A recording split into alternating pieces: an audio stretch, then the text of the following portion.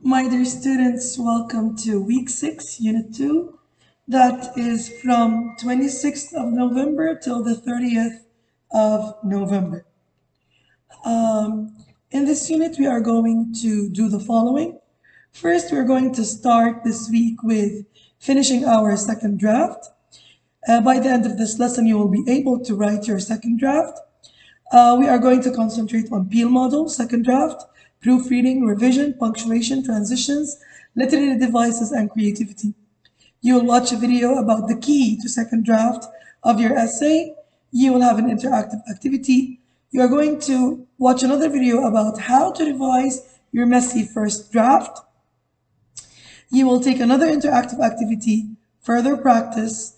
You will evaluate your own writing. This is for the challenging question and put a mark on it. And you will have a self-assessment. Now for what to do tomorrow, I would like you to search for the main characters in Holes novel. Now, in lesson two, you're going to read and annotate chapters from six, from six to 10. Our word wall is going to include torment, vacancy, forlorn, assure, convince, uh, preposterous, sprout, intensity, and radiant.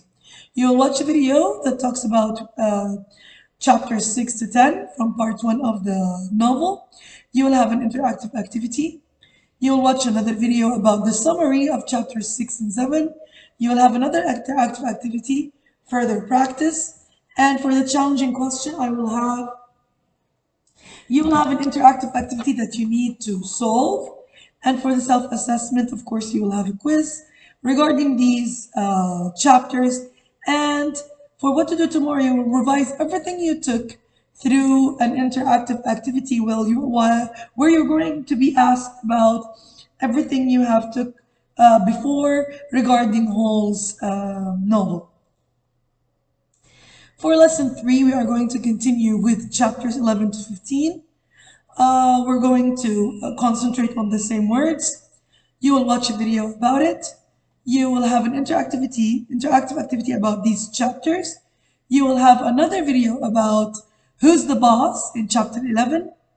You will have another interactive activity that is um, linked to, uh, to these chapters, further practice, and another interactive activity for the challenging question, a self-assessment, and for what to do tomorrow, I would like you to answer on your notebook, what kind of a person is the warden in your opinion, and why is he that kind of a person, or she? For lesson four, we're going to continue with holes again. We're going to read and annotate chapters 16 to 20. Uh, you will watch a video about them. You will have an interactive activity. You will watch a video about the summary of chapters 16 to 18, another interactive activity, for their practice. For the challenging question, I would like you to answer, what does Stanley learn about zero? I would like you to write the answer in your notebook. There will be a self-assessment. And for what to do tomorrow, I would like you to read chapter 21 and answer the following question on your notebook. What does Stanley know about his great-grandfather's experience of being stranded in the desert? On Thursday for lesson 5, you're going to recognize action and linking verbs. You're going to distinguish between action and linking verbs. Uh, for the word wall, we have action, linking, verb, subject, and predicate. You will watch a really funny uh, song about action verbs. I love uh, Jack Hartmann. He's amazing uh, when talking about grammar. He's hilarious. And then you will have an interactive activity. Then we will have another tutorial video about linking verbs. And then you will have another interactive activity from your book from Savvas. Further practice about action and linking verbs. You, that challenging question will be another link that you are going to solve. Uh, self-assessment quiz.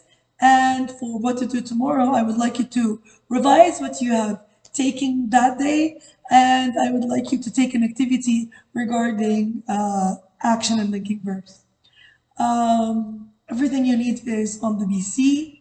I can't wait to start this uh, week with you guys. All the love and the respect of the world I give you. Warm regards.